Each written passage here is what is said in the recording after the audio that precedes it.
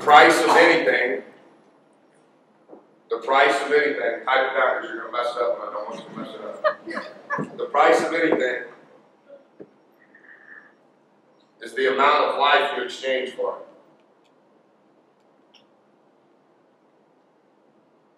So this is all I talk to our players about, all the time. In the season, out of the season, yesterday, when I see them tomorrow, I'll say the same thing, I'll just figure out how to say it in a different way. The price of anything is what? If you want to be in the top 1% of the rising juniors in the world, figure out what to do with your time that's productive. You know what our players do? Whatever we tell them to do. You know what my children do, and they're your age?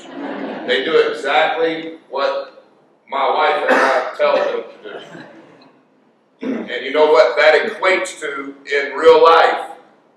You lose. Because you're doing the same thing everybody your age is doing. Just whatever you're told. And when you become old, that'll never be enough. Right? So if you can figure out at 15, 16 years old, I'm going to do better with my time, you would be in the one percentile people in your category. And you know how many of you will do what I'm saying? Less than one.